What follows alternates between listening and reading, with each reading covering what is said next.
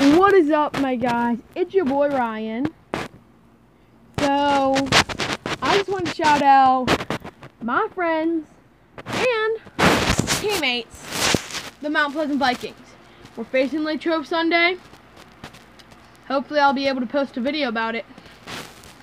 Hopefully, we win.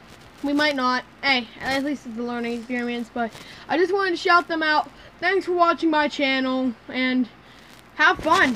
Just now, I know a lot of you might want to be like me. Don't be out there setting traps. I know what I'm doing. You snap your, you hurt your finger in one of the traps you try and set, it's gonna hurt a lot. Trust me, I've done it before. So, anyway, if you're gonna set traps, do them for like mice. Don't set traps for raccoons. So, anyway, see you guys!